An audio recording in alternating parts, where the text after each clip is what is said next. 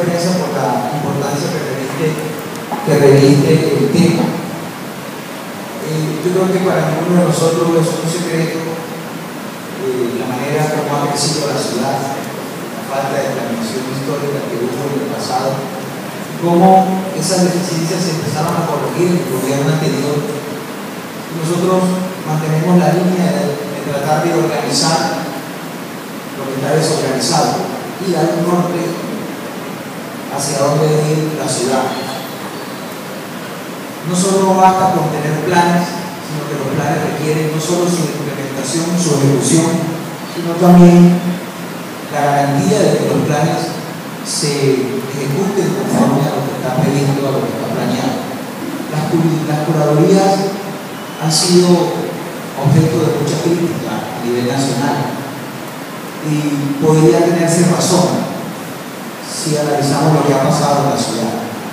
Creemos que esta mediría a las curadurías es una instancia que le brinda primero que todo transparencia a un proceso público a un ejercicio público que hacen desde la órbita privada la curaduría. Las curadurías son una entidades de carácter privado que ejercen una función pública. De manera que estas eh, nos van a permitir, primero, que haya mayor visibilidad en de los señores curadores.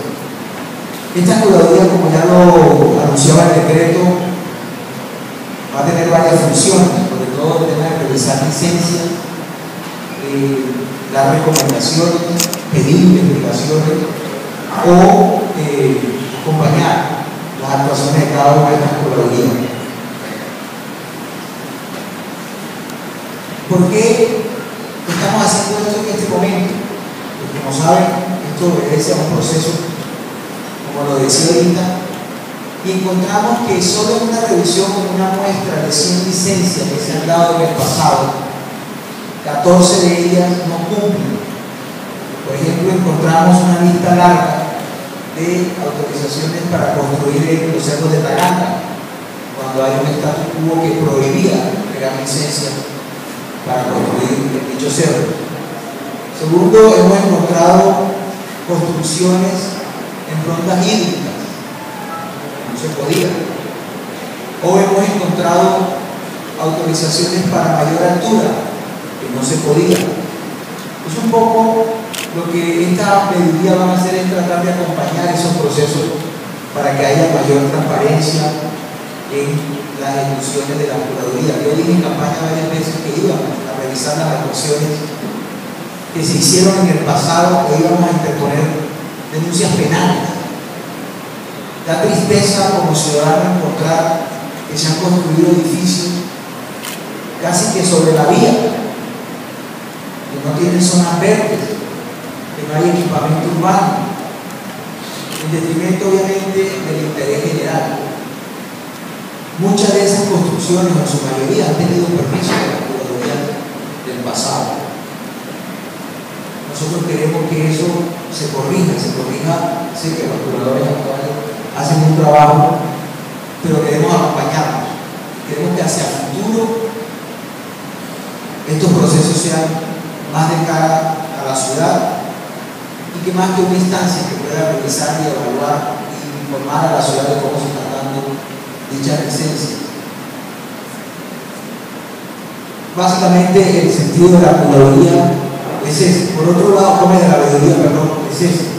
Por otro lado, estamos de una vez también eh, iniciando el proceso para la selección por mérito, la selección pública de una de las curadurías en la cual está momento encargado el doctor eh, Tamayo, la número 1. Eh, vamos a consultar el procedimiento conforme a la ley lo prevé y eh, a partir de ahora arranca el proceso en cabeza de la Secretaría General. También quiero decir lo siguiente, nosotros hemos eh, definido que los permisos a partir de la fecha de, de urbana y uso del suelo lo va a dar Planeación Nacional, perdón, Planeación Distrital, quien es la entidad que tiene la competencia de salvaguardar intereses generales del POR y de planear la ciudad. Pero los usos del suelo lo va a dar planeación y los permisos de iluminación urbana. Segundo, a partir de la fecha le queremos pedir a los jugadores que cuando haya un vacío normativo se soporte en planeación. En planeación es la que interpreta hacia dónde va la ciudad, la que conoce de manera detallada el POR y el conjunto de normas que hay al interior en el distrito.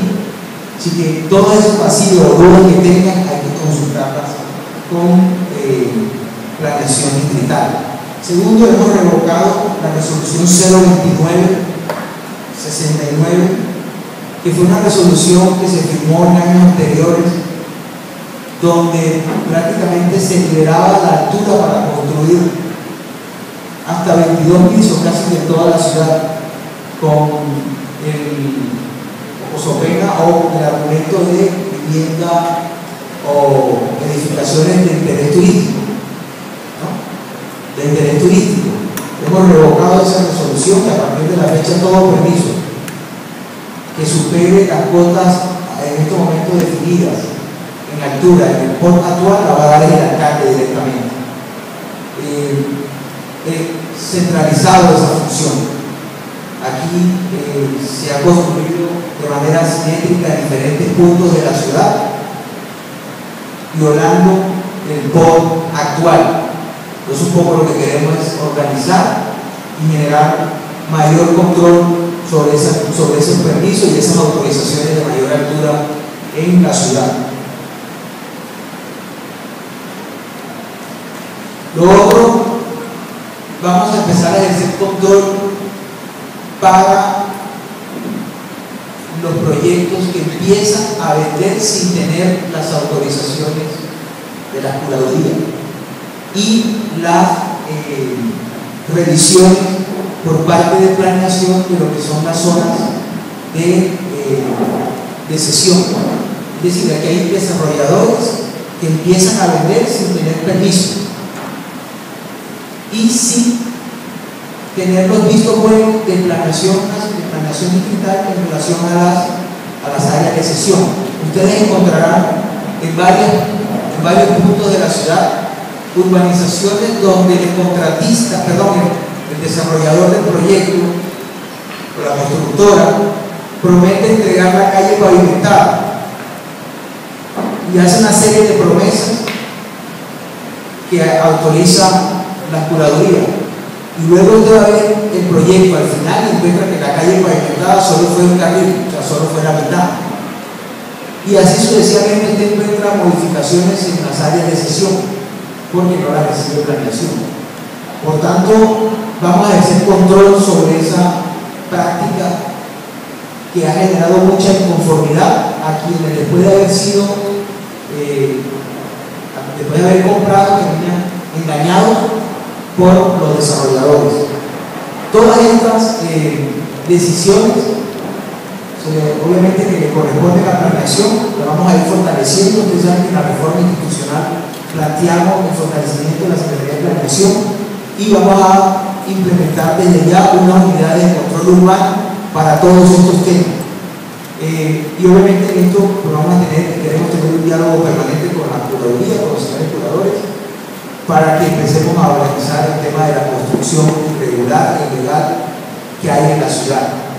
Yo creo que aquí eh, nos va a tocar tener un diálogo más fluido y en la mayoría va a ser un papel muy importante. Resulta que hay construcciones que piden el permiso a la curaduría y la solicitud de permiso la norma no plantea, ellos empiezan a construir, colocan el cartel amarillo, los ciudadanos creemos que ese es el permiso y es solo una solicitud.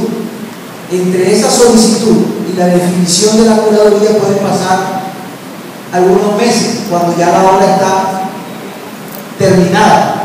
Luego, si la curaduría dice o da un concepto negativo de favorable, la obra ya está ejecutada. Luego entonces nunca hay demolición y por eso vemos construcciones en los cerros, en las rondas hídricas y en todos lados que no están permitidos. Pero vamos a tener que tener un diálogo permanente y unos mecanismos para que desde la Secretaría de Planeación tengamos los tiempos, lo que una curaduría decide sí o no, y la obra no avanza a un punto en el que luego es irreversible o sale un costo adicional para la Secretaría de Planeación salir a demoler infraestructura o construcciones eh, que pudiesen, pudiesen haber sido detenidas en su momento. Entonces, básicamente, ese es como el sentido eh, de esta presentación de estos dos decretos. Francisco, si hay algo más relacionado a los decretos o